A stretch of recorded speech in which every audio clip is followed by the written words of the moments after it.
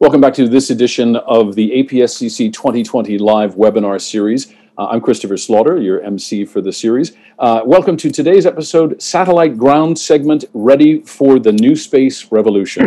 Uh, today's webinar is brought to you by ST Engineering iDirect. We're very pleased to have their support uh, for this installment of the series and for APSCC overall. Uh, joining us today from Euroconsult is Stefan Chenard. He'll be moderating today's session, uh, which features the CTO of ST Engineering iDirect, uh, Frederick Simons. Simons. Pronunciation not my strong suit, but uh, uh, he, he answers to his name. Um, at any rate, uh, I'm going to leave you now and, uh, and let Stefan take over uh, with an introduction, and after that, Frederick's presentation. Thank you all very much for joining. And thank you, Christopher. greetings from Paris, France. Um, so usually the um, the debate around new terminals for LEO satellites, which is what we're going to talk about today. It's the ground segment for this new generation of multi-beam satellites that's, that's upcoming.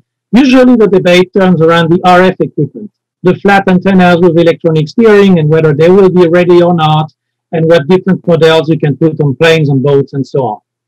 Today, uh, Frederick, you're going to tell us about another part of the network, the other layer, the baseband, the banks of modems that in a teleport are hidden indoors behind the antennas. For the non-engineers, what happens at that level may be a little bit less easy to grasp than what an antenna does, and iDirect is coming up with uh, new approaches to um, that part of the network. Um, so, Frederick, why don't we um, why don't we pick this apart and uh, let's let's hear your story first of all, and then we will reconvene for a little bit of discussion after you're done with your presentation. It's all yours. All right. Thanks a lot, uh, Stefan, for this uh, introduction. So indeed, we will be talking today about uh, the ground segment. And um, as you all know, there's a lot of things going on in our industry. So we call it here New Space Revolution. And that obviously has quite some impact on the ground segment in a sense that we also see a lot of need for innovation on the ground segment to enable uh, all of the uh, evolutions going on uh, in space, uh, but not only in space, um, also on the terrestrial side. Uh, and basically, this uh, picture here kind of uh, shows the topics we're going to touch upon today. So we, we're going to make a point that uh, the ground segment is really at the center of uh, all the innovations that are going on uh, in space and on, the, and on the terrestrial side. I will show that uh, the ground segment is really the enabler of all of that. Um, so we have evolutions in the space segment, we have evolutions towards uh, a new uh, ecosystem, which is really driven by uh, everything that happens around 5G. And then there are some uh, what we call innovation enablers uh, that are kind of like industry trends that are not linked uh, to the space industry, but very, very much beyond that, specifically related to virtualization, standardization, and orchestration, where we can leverage a lot of the uh, evolutions uh, that that need to take place uh, to enable the innovation in terrestrial side and space side, and we'll we'll we'll explain how that all comes together in in the new ground segment. So uh, let, us kind of start with briefly introducing these uh, couple of topics. So the the the new uh, 5G ecosystem, um, as you all uh, are aware, kind of has has kind of a context in the fourth industrial revolution. Uh, I'm sure you have heard about that term. Um, and what we see there is, um, in contrast to what the third industrial revolution was, where really all the innovation came from technology enhancements, we see that in this fourth industrial revolution, all the innovation comes from an increased uh, capability to communicate, to communicate and to connect uh, the endpoints and the, the players uh, in that uh, fourth industrial revolution. And so we see there concepts, concepts like smart networks, uh, artificial intelligence, and interconnecting uh, all kinds of systems. And that is really driving what is going on now. And um, you see that a convergence is taking place in all the access technologies, um, and kind of the 5G uh, is the is the driver there of that convergence. So we see that 5G is kind of the the single uh, technology that kind of enables all of the different uh, access technologies that are out there, and uh, the technology behind all of that is driven by uh, a, a, trend in automation, virtualization, and orchestration. Um, and lastly, of course, um, the fact that the amount of endpoints really grows a lot. Uh, we see a, a, need for scale, uh, capacity enhancement, and then of course also a need for, for more performance. So that's a bit what, hap- what happens on the on the 5G terrestrial side. Um, similar uh, evolutions uh, are happening on the space side where we where we see also a lot of changes in the last couple of years. Uh, we you, you, all are aware, of course, that the entire space industry is moving from uh, traditional uh, geo satellites to more uh, uh, to more hybrid mix of uh, geo, MEO, LEO, and even HEO satellites, and also move from HTS to very HTS satellites, so very high throughput satellites, where um, not only the capacity is increasing a lot, uh, so uh, we're moving from gigabits type of capacity to really terabit level uh, capacities on, on a constellation level. But we're also seeing that the satellite capabilities uh, are changing a lot. Uh, a satellite used to be kind of made uh, to a specific purpose, with beams being designed to cover specific regions uh, with uh, beams being dimensioned in terms of bandwidth, in terms of megahertz, to provide specific uh, throughput uh, to specific regions. So all of that was uh, in the past pretty much pre-configured and was kind of designed at the moment uh, that the, the satellite is, is being manufactured. What we see now is that all those satellites become more and more flexible and the beams are no longer static, but they are completely dynamic in the sense that uh, the beams are being defined at the moment you need them and not at the moment the satellite is manufactured, which kind of, of course, opens a lot of possibilities and creates a lot of flexibility for, for, the, uh, for the operators of that satellite. Um, and we'll, we'll explain later on what kind of impact that has on, on their business. Um, and the last point, yeah, the, the fact that we're moving from on-demand payloads to more like standardized payloads nicely fits into that. So the, uh, the, the, fact that you don't need to design uh, your satellite payloads up front, uh, but you can move more to generic payloads or standardized payloads, then uh, obviously creates some, uh, some uh, scale advantages um, that generic payloads can be launched and then they are configured to the specific use case uh, long beyond uh, the launch. And so uh, this obviously uh, kind of takes away a lot of business risk uh, for uh, the operators that are launching those satellites. Um, of course, um, those innovations that are taking place on the terrestrial side, the 5G evolutions, as well as on the space segment side, have some implications uh, for the ground segment itself. And so um, you will see that the ground segment, uh, together uh, with the space segment, is moving away from uh, standalone networks. What I mean with that is that uh, typical VSAT systems have uh, always been kind of configured and installed next to all kinds of other networks that are out there. And what we see now is that this needs to blend in uh, seamlessly uh, with all kind of other access technologies. So that's the first point that we're moving from standalone VSAT networks to more integrated ecosystems where the satellite connectivity is just one of the many ways to communicate in this 5G ecosystem.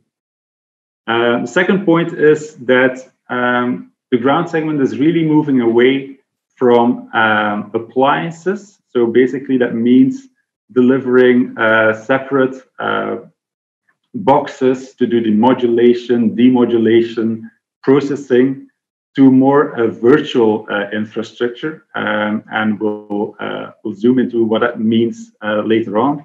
Um, and we also see that the ground segment is moving from a paradigm where um, everything is, is configured uh, up front to a more orchestrated service delivery, where basically uh, services and infrastructure is created and orchestrated at the moment uh, it is needed and uh, nothing needs to be configured uh, when, when a satellite network is brought up. Uh, and that, of course, the, the last point is that uh, the satellite flexibility and what I call here software defined satellites, so satellites that uh, are really fully programmable, obviously translates to a need for a fully programmable ground segment to then ultimately create a complete software defined uh, network. So these are kind of the consequences of the um, evolutions that are taking place in space uh, and on the terrestrial side and uh, what that means uh, for, for the ground segment. So before we uh, zoom into more detail into what all of this means, uh, we're just going to kick it off with an example to set the scene. Um, and show how uh, a future uh, a future flow or a service order flow uh, would look like, um, and how that differs from what uh, today's satellite networks uh, look like. So I'll just first uh, illustrate um, the satellite network and ground segment that we are considering here. So there are different different elements um, in, in a satellite system. Um, you see on the left-hand side, you see everything related uh, to the operator or gateway infrastructure. And on the right-hand side, you have the remote terminals, and obviously you have the satellites in between there to connect a gateway uh, with remote terminals. And uh, the elements uh, of the gateway, uh, there are actually three main elements. You have uh, first the, the platform NMS, so that basically the network management system that uh, is configuring and orchestrating uh, the whole gateway, but also the configuration uh, of the terminals. Then you have uh, the virtual core hub module and the virtual uh, baseband hub module, which basically hosts all the gateway processing functions that manipulate the, the the data, the traffic, and that allow to send it uh, uh, over the air. So in the uh, virtual core hub module, you have, uh, which is typically hosted uh, in a data center and can be centralized for multiple uh, teleports, basically hosting all the traffic optimization functions like compression, TCP acceleration, routing, so that's all uh, being done typically at a central location. And then uh, close to the teleport, you will have uh, the baseband functions. So these are the traditional modulators and uh, demodulators. Uh, but there's a trend now to also fully virtualize that in a sense that you no longer have a dedicated modulator device or a dedicated, dedicated demodulator device uh, to perform certain modulation or demodulation functions. No, uh, instead of that, you have some uh, baseband hardware equipment.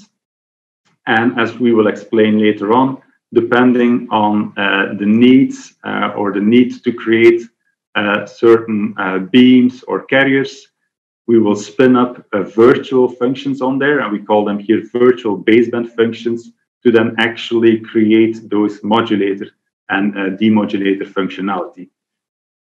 Uh, and then, of course, on the right-hand side, you have uh, your terminals. And then also one important element that is becoming more and more standard, let's say, with those next generation satellite networks is some form of resource controller or global resource controller, which kind of manages uh, the configuration of the satellites and then also, of course, interfaces with the ground segment to synchronize the configuration of the satellites uh, with uh, the ground segment. segment. So satellites, as I have explained, become more and more flexible in the sense that beams and bandwidth per beam uh, can be configured on the fly.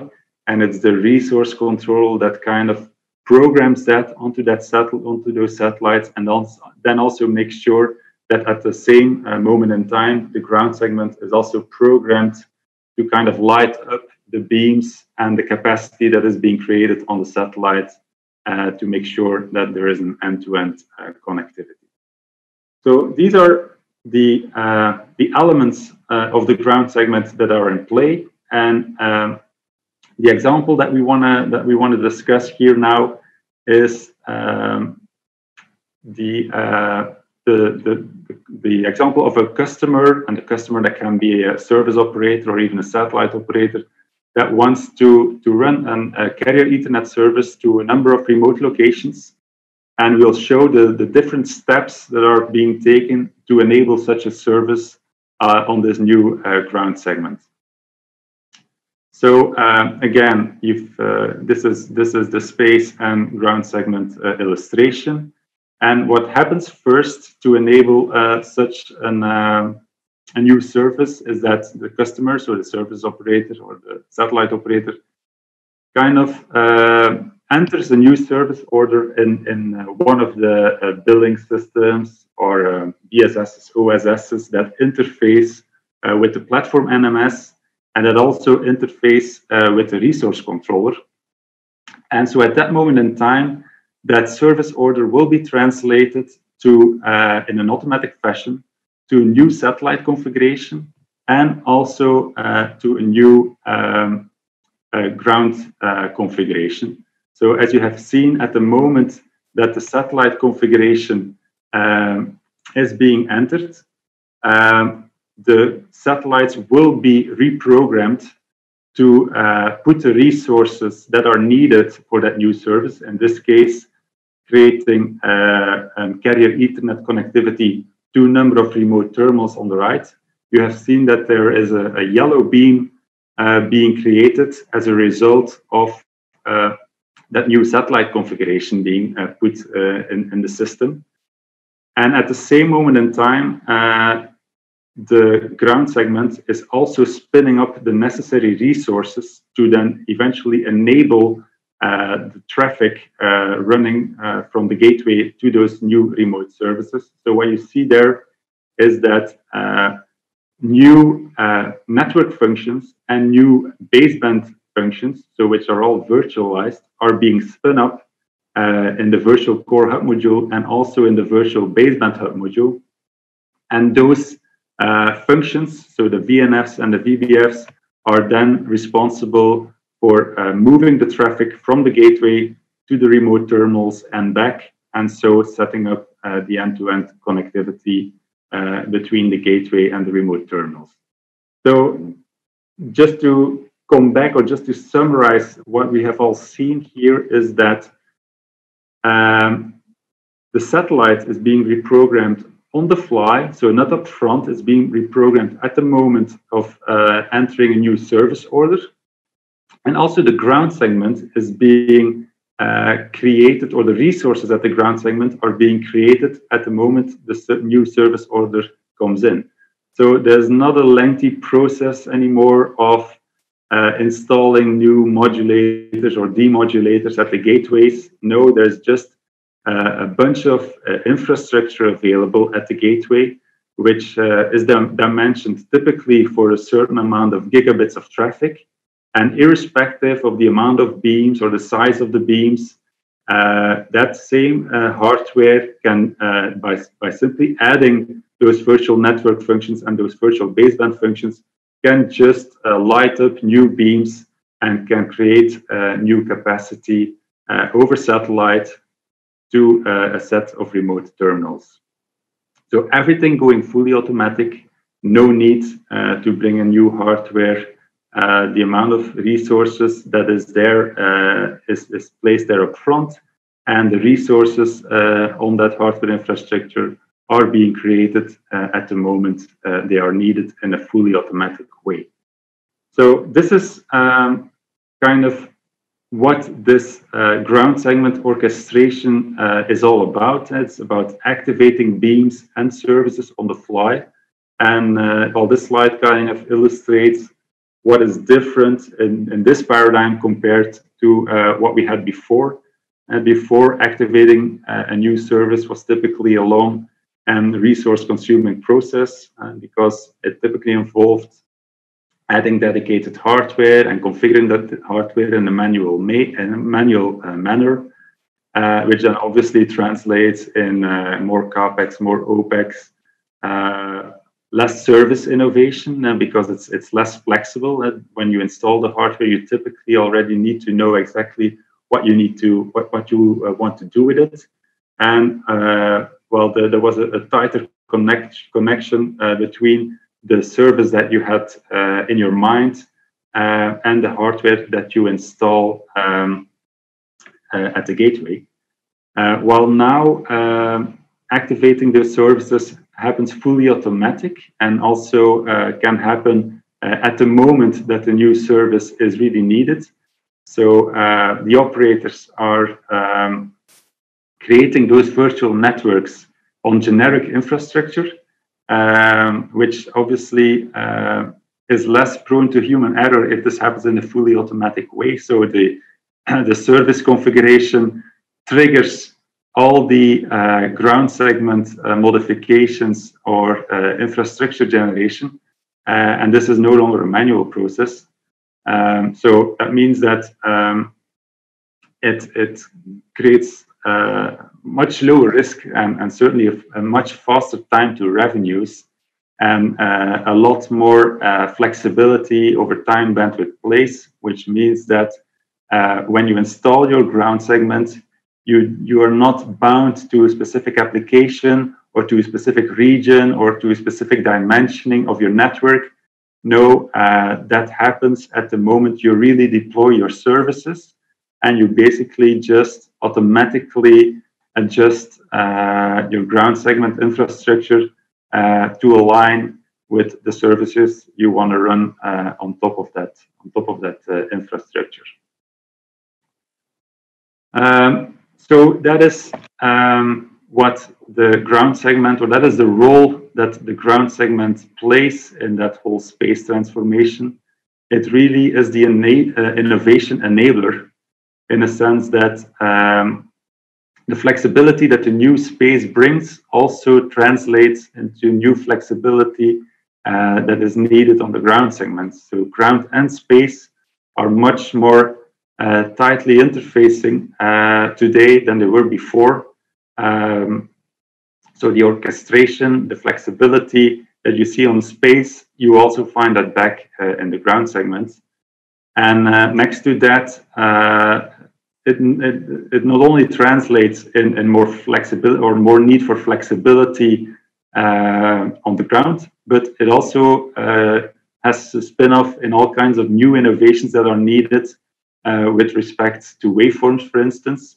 Uh, so if, if the spacecraft or the, uh, the capacity that is uh, provided in different beams can vary over time, it also, of course, means that the carriers that are being set uh, by the ground segment need to be able to, to change over time as well.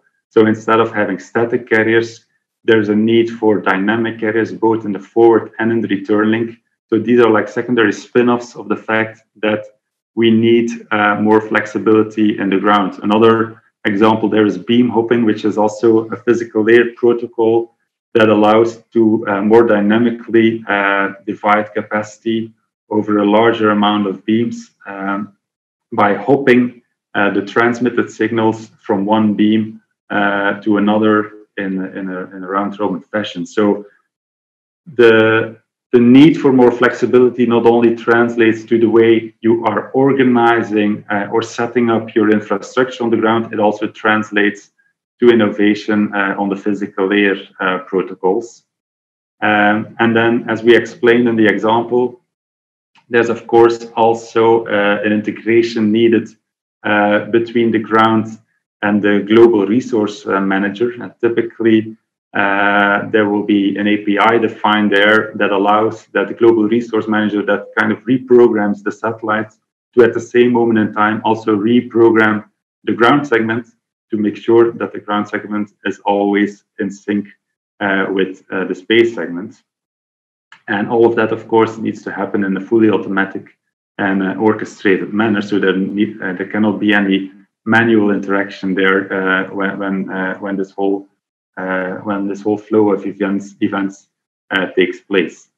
So obviously that this brings a lot of benefits uh, for the end user. so we already talked about the fact that it creates more reliability in the business models. Uh, the fact that you do you no longer need uh, to decide exactly what kind of markets or what kind of applications uh, you want to serve at the moment of launch of the satellite or also at the moment of uh, ins installation uh, of the ground segment that is fully uh, fully transparent to that. Basically, everything is configured or everything is orchestrated at the moment you are actually launching those new services. So it's also adaptive for different verticals. Um, this ground uh, segment needs to be uh, able to, to cover uh, all the verticals, and that's what, what the ground segment is able to do today, so that uh, again, you are no longer bound to a specific vertical uh, when installing uh, this, this ground segment, but you can, uh, depending on how the market and the business evolves, you are able to just reuse that same infrastructure for different verticals. And then, of course, the last point is that um, you have this flexibility over time, bandwidth, place, meaning that uh, when you see more opportunities in one region uh, and more bandwidth is needed in, in, that region compared to another, you are able to shift that bandwidth uh, not only uh, on the satellite but also on the ground by just uh, reconfiguring uh, the hardware there, and by the way, also fully in a fully automatic manner. So basically, to enable the space transformation the ground segment is going through a lot of innovation today, uh, where we are moving uh, from static configuration to fully dynamic automated orchestration. Um, and not only uh, on the automation and orchestration side, but it also uh, uh, ripples through to the to the physical layer protocols and the the high layer protocols that are being used uh, for the for the communication between ground and space. Um, of course, um, there's there's this other trend that we talked about at the beginning is the fact that um, the satellite uh, system needs to become part of a much broader uh, ecosystem, uh, the 5G ecosystem, uh, which which kind of puts some additional requirements to uh, how uh, to what the future ground segment needs to look like. Uh, so there are, of course, requirements in terms of scale, capacity, uh, means of, of communication, uh, uh or means of, of, of, kind of applications and traffic profiles. Uh, but, but the most important element is that uh, the ground segment needs to seamlessly interface with all the standardization that is going on in the terrestrial side. And so the standardization within 3GPP, uh, but also other uh, standardization bodies like uh, the Metro Ethernet Forum that kind of defines the carrier Ethernet protocols. The, the, ground segment for, for satellite communication should no longer be a, speci- special uh, way to do communication uh, to certain endpoints, but it should rather blend in seamlessly with all the other communication protocols that are in place, um, being uh, terrestrial broadband access or mobile communication. Satellite communication should just be one other means uh, to communicate within the 5G ecosystem.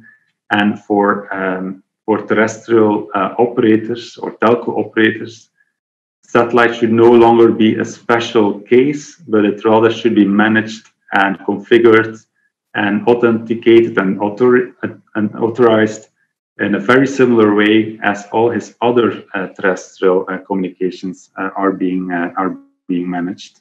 Um, so um, to, to show you what we mean with this, we we kind of uh, gonna gonna illustrate this by means of, of two satellite communication use cases. And the first one uh, we call uh, the use of satellite communication for transport networks, and the second one we're gonna call the use of satellite communications for access networks. Uh, so uh, as you can see at the bottom left uh, of this slide, satellites uh, can be used to connect nodes um, in an overall network, uh, which can be located more in the core of the network.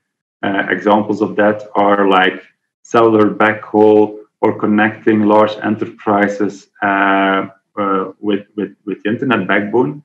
Um, so that's the that's the first uh, use case, and the second one is where satellite is really huge, used at, at the edge of the network to uh, to provide like the connectivity uh, to, to, the, to the network endpoints. And examples there are like consumer broadband access, IoT, connected cars. And um, what we see is that in the terrestrial equivalent of that is that you typically uh, reside to uh, two different um, uh, protocol stacks uh, where uh, transport networks uh, are typically using carrier Ethernet type of connectivity.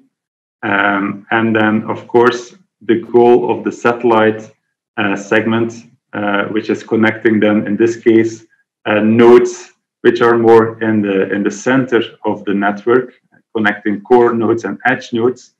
Um, and what we have there is that at the edges uh, of that satellite network, so both at terminal side as well as gateway side, uh, we need to align, uh, or the, the, ground segment needs to align with uh, the control and data plane standards uh, that are in this case coming from uh, the MEF standardization, so the carrier Ethernet standardization, and the fact that there is a connection happening over satellite should be fully transparent uh, to the rest of the network.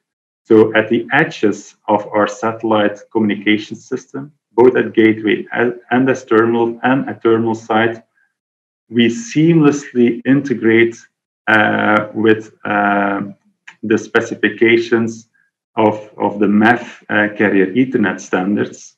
Uh, so in terms of control plane and data plane, but also in terms of management and orchestration.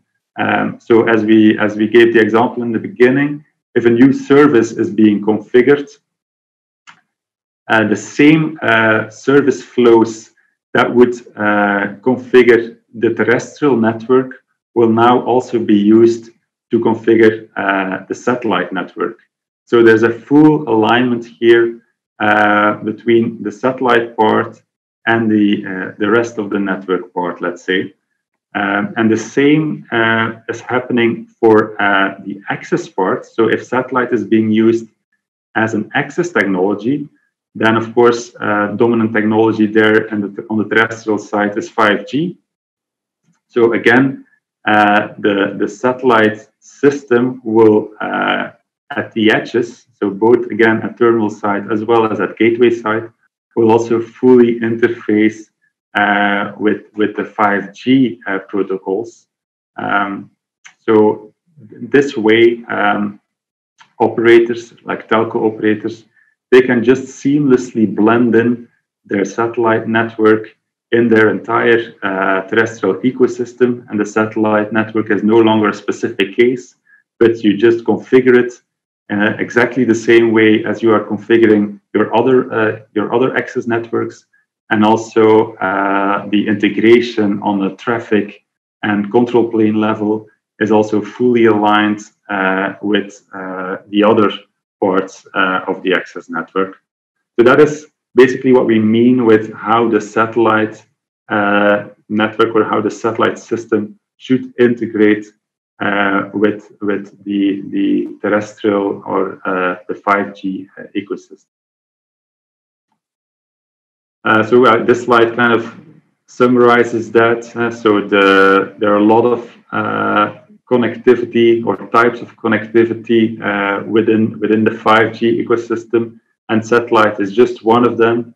And depending of for what satellite is used, uh, it is configured uh, and it's dealt with in a completely transparent way uh, compared to uh, all the other uh, access and transport networks that are out there.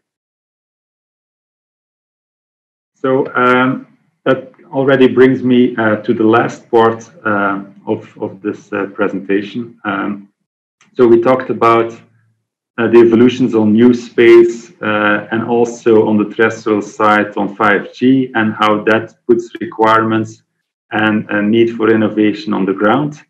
Um, now we'll just briefly touch upon what are those innovation enablers that uh, we can benefit from on the ground segment and that really allow uh, to bring that uh, uh, innovation um, by just reusing a lot of the technology evolutions that are taking place in in all the industries around there, so that we don't need to need to reinvent the wheel. Um, so we kind of see uh, several elements or several innovation enablers uh, that we are reusing in this new ground segment. Um, yeah, first of all, uh, on the left-hand side, uh, we mentioned there the, uh, the, the, standardization uh, that we can uh, fully leverage, and the fact that 5G uh, is specifying um, how those interfaces and, and how those protocols need to look like, kind of is something that we can immediately uh, uh, rely upon, and we don't need to uh, invent those protocols and those management and orchestration layers anymore ourselves, but we can just reuse fully what is being defined on the terrestrial ecosystem. Um, and that brings us to the second point, like this orchestration framework, the way new services are being set up. Uh, that is something that we don't have to invent, uh, but we can reuse uh, concepts for from like the, the Metro Ethernet Forum, uh, the lifecycle service orchestration standardization that can be fully reused and leveraged uh, also for the ground segment. obviously, all of this uh, drives upon the fact that the entire industry is moving to uh, full virtualization and leveraging uh, the cloud. Uh, so we're moving away from appliances to virtual network functions, virtual network functions that can run on public clouds or private clouds, uh, but that have less and less connectivity or less of less dependency on the specific hardware uh, those network functions uh, uh, are running. And then, of course, last but not least, there are a number of core technologies uh, that we have in house, like waveforms, cross layer optimization, the way uh, satellite networks are being managed. And those core technologies, of course, are being adapted to actually bring those flexibilities that we have been talking about. For instance, on the waveform side, uh, we are uh, relying on DVB-S2X, but also the extensions uh, within the DVB-S2X standard uh, that, for instance, allow for beam ho uh, hopping, or we kind of extended ourselves to allow for uh, flexible carriers. Uh, and in the return link, we have our MXDMA technology that also brings that full uh, flexibility where carriers can be resized on the fly in a fully automatic and coordinated manner. so these are just some examples of how those core technologies that we have in our platform can be leveraged um, to fully bring uh, that flexibility that is needed uh, in the ground to enable uh, the flexibilities on the terrestrial side uh, and on the space segment side. So this kind of um, all these innovations you will find back uh, in the different elements uh, of our ground segment. Uh, and basically with the goal to then deliver uh, that uh, fully automated, orchestrated, and flexible ground segment platform that uh, that interfaces with the terrestrial and the new space segment.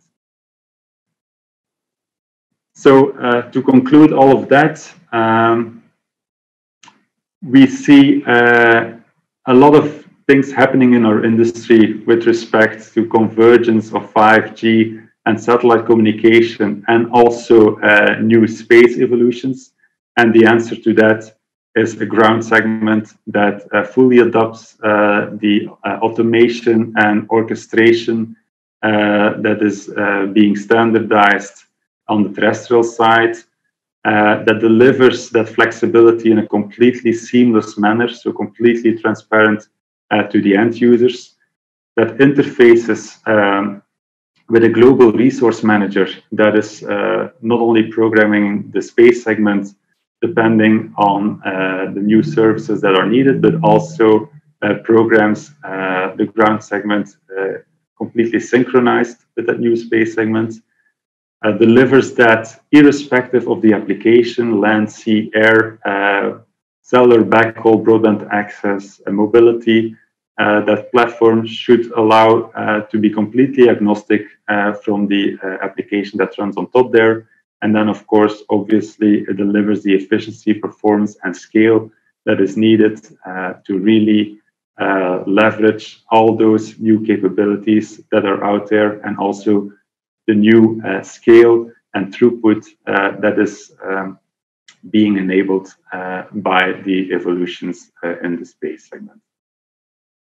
So that brings me uh, to the end uh, of my presentation, Stefan, and I'll hand it over back to you now uh, for uh, the Q&A. Thanks, Frederik, and um, thanks again to all of you joining us. Uh, as a reminder, while we are having this discussion, you can uh, also message your questions to Frederik via Slido, and uh, he will uh, respond via the same application uh, in text. So you, get two Frederik Simoens for the price of one. If that's not virtualization in itself, um, let's. Um, uh, you, you, this, this is all about flexibility. Uh, you've hinted that today uh, satellite networks are not as flexible uh, as we would like them to be. Now let's let's spend a minute on the way business is done today, just to put into into context and to, to contrast the uh, innovations that you have been uh, talking about. For 20 years, we've been we've grown used to the idea that it's all IP based, it's all bits, it doesn't matter what they are, and if I want at the same time do a, a, video conference uh, over a cloud application um, like we are doing now, um, exchange uh, plain text, uh, email, watch cat videos, get sound coming in, send files, PowerPoints in whatever format they are. It's all the same equipment. It goes through the same network. It's transparent to me. I don't have to know like we hear at every satellite conference, the end user does not want to know how his communications are handled, whether it's on satellite or terrestrial or through two cans with a piece of string.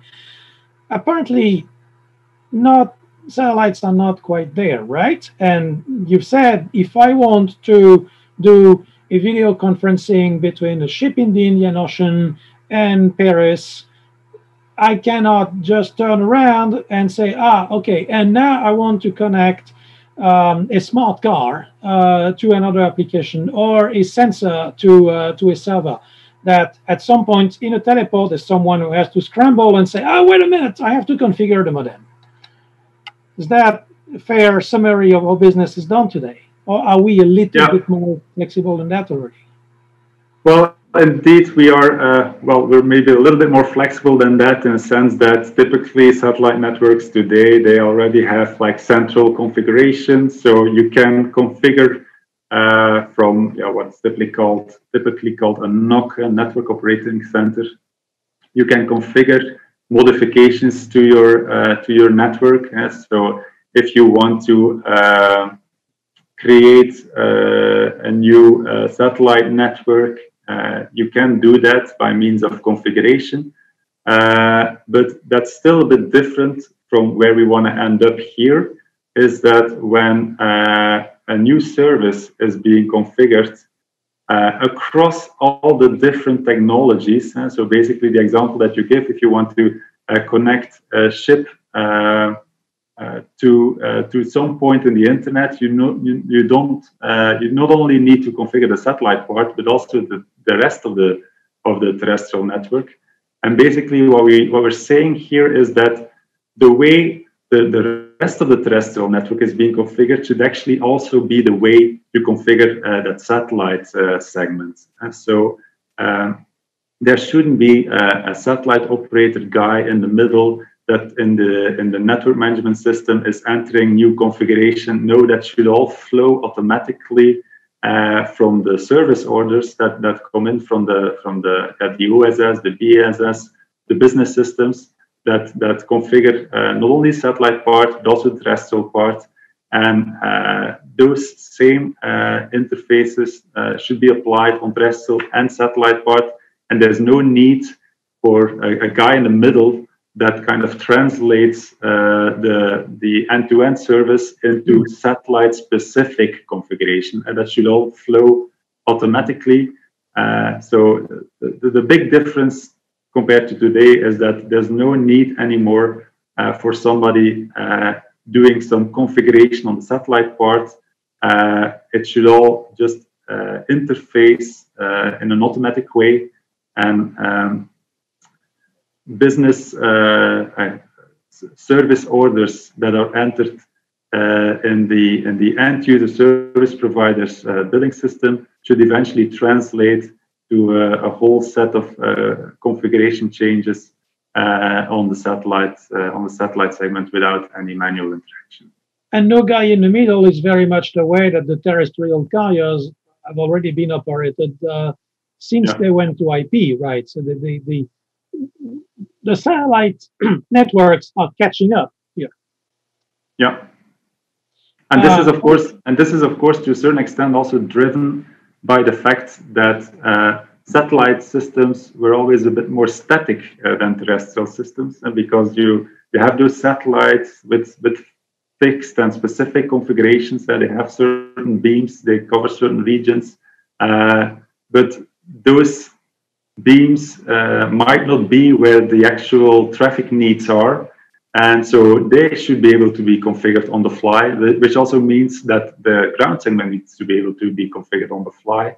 And uh, we also don't want any manual uh, guy there uh, in, in, the middle, kind of configuring both satellite segment and ground segment and keep them in sync. No, that also should happen fully automatic, uh, depending on the traffic needs or depending on uh, the service orders that are being placed. Exactly, and so this is this is very much driven by these new uh, generation of satellites that are coming, for which there is no coverage map anymore. It's that, yeah, that was the start of the discussion uh, on new satellites with satellite operators. Show me your coverage. There is no such thing anymore eh, because anything pretty much pole to pole, any point uh, in the world can be covered um, at the parameters that, that you require. Now, those new satellites that are coming up, which include the SES um, uh, O3b mPOWER, uh, not the only ones, the Intelsat EPICS, where they were the forerunners, uh, the Viasat satellites, all of those footprints made of uh, tiny honeycombs of tiny little beams. Um, the user terminals and the user networks and the teleports as they are configured today can they use those satellites, or would would it would it just break down, or would they have to invest in hundreds of thousands of modems to con- to cover every possible permutation? Um, so, um, well, the short answer, answer is that, of course, they can be used uh, over those satellites, uh, but to fully leverage all the flexibilities that those new satellites bring, uh, some innovation is needed on, um, on, on the ground segment. Of course, the, the good part is that uh, the way we want to do this is to make sure that uh, people that have an, a satellite system today, that they can simply or easily migrate uh, to let's say the future uh, satellite segment so it doesn't have to be a forklift uh, upgrade um, so we're kind of bringing in uh, those uh, new innovations uh, with respect to service orchestration and automation. We're bringing them in gradually And we have the advantage that the installed ground segments that are out there today are already virtualized uh, to a large extent. So it's basically uh, just creating an additional flexibility layer on top of the already uh, the already present uh, virtualization to kind of allow more to dynamically create and destroy uh, those virtual network functions and those virtual baseband functions. So in short, there, there is uh, almost a full reuse of the install base, uh, but we're just talking here about, uh, about of the install base hardware, sorry, uh, but we're talking about uh, just creating new software releases on top there that will allow to, to deliver that automated flexibility uh, that is being uh, offered by, by those right. new uh, satellite concepts. That, that's an important point to make because it's one thing to change the to change the, the space segment. All you have to do, so to speak, is to launch additional satellites. It's, it's a, an almost instant uh, change of infrastructure, uh, but all of the um, legacy equipment, all of this um, capex, uh, all of those business arrangements with existing teleports do not have to be done to uh, avail of those of those new uh, capabilities. At the same time, looking at this from the market standpoint, so it's it's almost infinite flexibility at our disposal. Not everybody needs infinite flexibility. Um, if my traffic stays contained within the same fixed number of beams because my business doesn't move around that much. That's all. I, I manage I have VSATs on top of 10 supermarkets and they are not moving around. Uh, I don't really need to change anything, right? It's your maritime, your aero users we use through dozens of beams already We will be first to benefit of this. And then, of course, there's not that many businesses that stay always within the same 500 kilometers and as those beams become smaller, also it's it's a really small country that will be covered by only one or two beams of those satellites. How do you how do you see this from? Uh, how do your your your end purchasers see this from the, the standpoint of how flexible their own businesses are? Yeah, so in, indeed, uh, some of the use cases or some of the customers have, have more need for this flexibility than others. Uh, but there are some, some commonalities, of course. Uh, so even if you have a relatively static uh, business in the sense of that uh, your, uh, your traffic is known and which beams it will be, and you are really focusing on one specific application, you always still have the fact that networks typically grow over time. Um, and so this technology also allows to to uh, to expand uh, your networks easily uh, and kind of take away the need that uh, if you just want to uh, add an additional 100 megahertz uh, of capacity to your network, that you again have to install new modulators, new demodulators. so it's not in this case not about changing it multiple times a day the configuration of your network, but still the expansion also happens a lot faster than it happens today. So there's no need to, to kind of schedule uh, weeks up front uh, uh, the next network expansion. No, it's just uh, triggering some, some configuration flows and all those uh, new uh, bandwidths are, are made available automatically. And then your traffic is known is a little bit an expression of the past also. Because just taking the example of this cloud-based video uh, session that we're having, who knows where the bits go through, how many data centers they touch before they complete what looks to us like a relatively simple point to multi-point um, uh, network, right? Uh, it's um, the more cloud-based, the more unpredictable the routing is. There's actually some other trends in the in the VSAT uh, market as well, uh, one is that the enterprise market is increasingly turning to VSATs for backup. And there you cannot predict where you will need the satellite link because you cannot predict which part of your network is going to fail and when or for whom.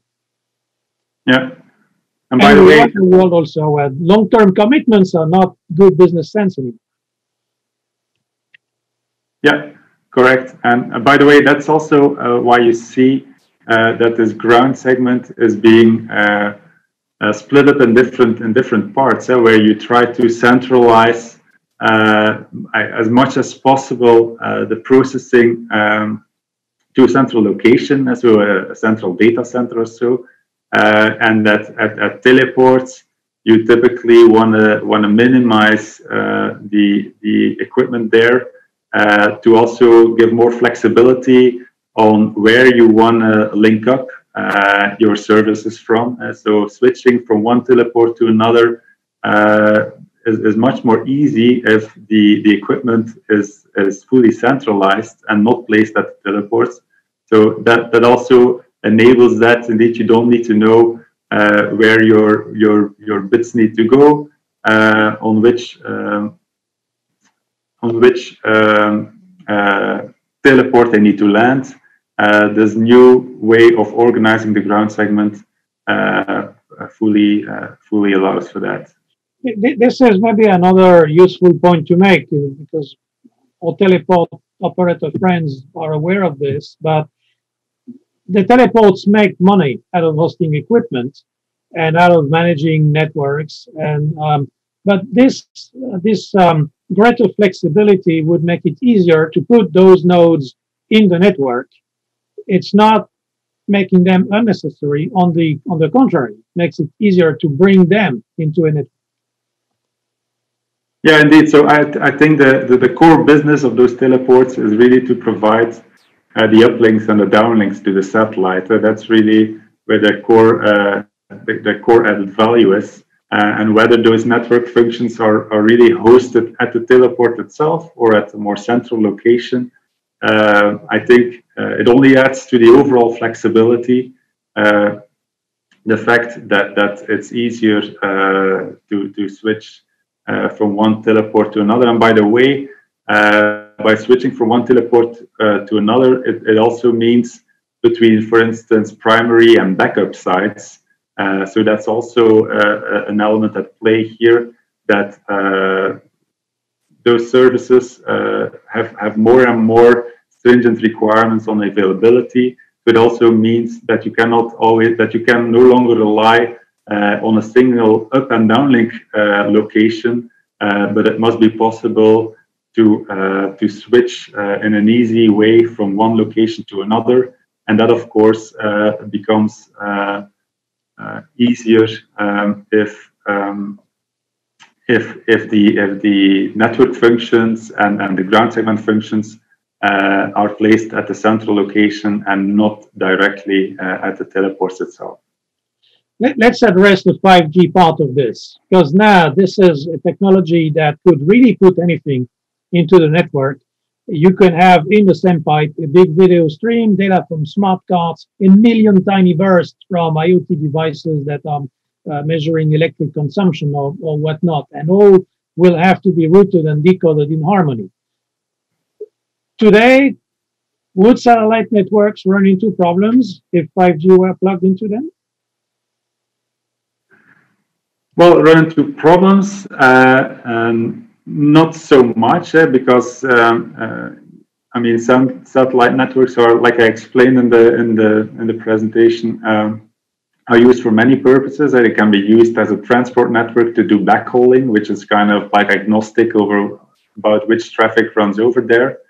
Uh, but uh, they are not, uh, uh, let's say, fully integrated in the 5G ecosystem. Eh? So the satellite links are still uh, typically managed uh, independently from all the other parts of the network. And what we mean here with that integration is that, for instance, your billing system or your authentication system that you use for your terrestrial site should not be different than the one you use for your satellite uh, uh, segment site. So uh, it's about aligning on the management, configuration, and control interfaces uh, that the satellite system offers and aligning that with those same interfaces of the rest of the terrestrial network so that uh, the, the higher layer management uh, business business systems and management systems can just configure and orchestrate those two parts in, in a very similar way. Uh, so satellite is no longer specific or special case. It's just one of the many transport, transport or access technologies that you have in your terrestrial network. And so, apart from a satellite network today being expected to use some specific protocols, which you would, which would become um, less siloed or necessary once we have this this level of, of homogeneity that uh, um, that you described. Apart from that, there's also the expectation that the traffic patterns have to be a little bit predictable, whereas we're coming into a world where they might not be, where they might be extremely bursty, and that that would be more difficult to uh, to anticipate and to plan for.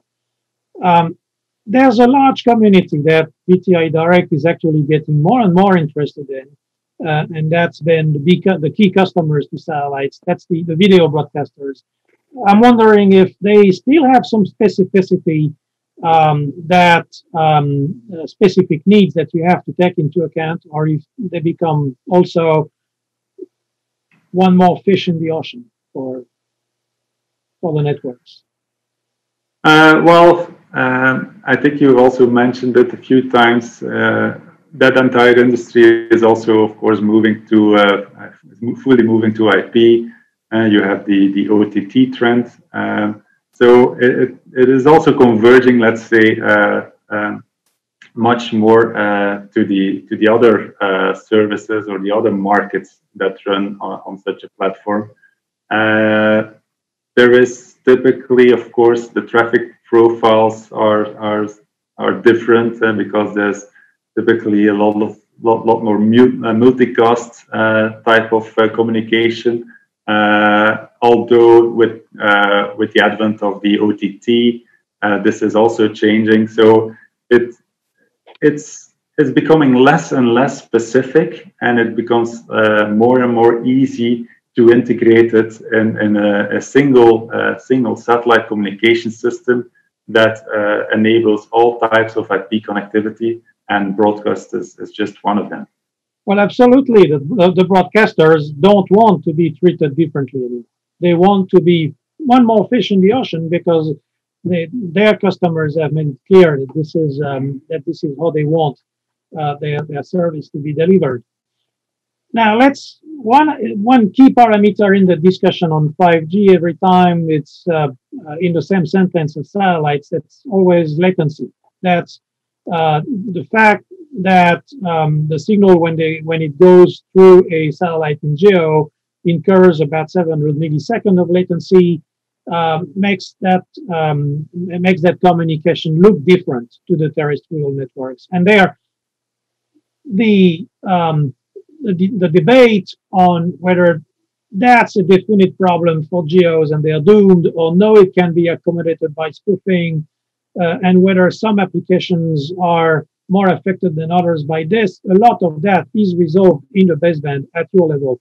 What's your perspective, and would those problems go away a little bit more, irrespective of whether the satellites are geo or not, because the, the geos will stay with us for quite, for quite a few more years?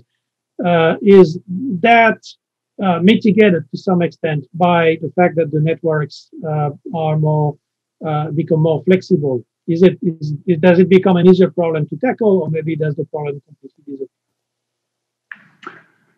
Yeah, well, uh, well, latency is of course an uh, an, uh, an interesting topic by itself. Uh, so, um, well, there are a number of points. So, first of all, uh, we uh, have a tradition in satellite communication industry to try to mitigate as much as possible uh, the impact or the effects uh, of latencies. And so we have all kinds of acceleration protocols built into our stack uh, so that, uh, for instance, if you do internet browsing or if you want to transfer large parts of, of data or high throughput data over satellite, that uh, you don't, you're not hampered by TCP protocols that kind of go to a lower throughput or to a, a slower reaction time uh, because of the long latency of the satellite in between. Uh, so that is being dealt with uh, by traffic optimization technologies which are built in uh, into our into our systems. So that's one thing. Uh, but obviously, yeah, there are certain things, of course, that you cannot uh, compensate. so if you, for instance, want to have a very rapid uh, interaction, uh, just uh, one of the examples that is always used is the example of, of trading, so automatic trading algorithms that want a very rapid connection, for instance, between stock markets in Europe and in US. And of course, uh, if you want to if you want to create that connectivity over a geolink, uh, then yeah, you will always uh, encounter that latency, and you cannot compete to uh, connectivities uh, that don't have that latency. But that's then, of course, where where new satellite uh, constellations can come into play, and and actually can become an advantage compared to terrestrial communications between because um, connectivity from one side of the ocean to the other side of the ocean over a LEO network can actually be uh, a lot faster than uh, doing that communication over transatlantic uh, fiber lines, for instance. So I think satellite, the satellite industry there is also evolving in the sense that it can even make latency uh, come to its advantage or, or can create a differentiator around latency uh, rather than than a disadvantage. So I think it's a mixed story. So we uh, on on kind of traditional geo links, we have all kinds of mechanisms in place to to compensate for the effects of latency as much as possible. And where it's not possible, there are alternatives to geo. And then we're uh, coming more into the MEO and the LEO uh, area, uh, where um, yeah, where obviously those effects are not in play. Okay, it's a lot of exciting stuff to look forward to. Um, the satellite industry sometimes is is made is accused of being a little bit passive and and not innovative enough and uh, still uh, sticking to um, uh, to its guns. Not true, as we've seen uh, in some cases. It's probably ahead uh, of the uh, of the wave of innovation by the terrestrial carriers and equipment vendors that define things like the uh, the 5G standards. Um, and um, let's we'll see uh, how we get to play with this uh, infinite uh, flexibility that um, that you are delivering. We uh, this is about uh, the end of the hour that we wanted to use. I have no doubt that the the questions are raining on you through the, the text application. Christopher, back to you. Stefan, thank you very much. and and thank you very much, Frederik uh, Simoens from uh, ST Engineering iDirect, uh, the CTO of that company. Also, thank you very much to ST Engineering iDirect for support for this particular webinar. We're, we're very happy to, to have your support and your participation. Uh, thank all of you for joining us uh, for today's session. We look forward to having you, uh, having you with us again next week. Thank you very much. Goodbye. See you next week. Bye.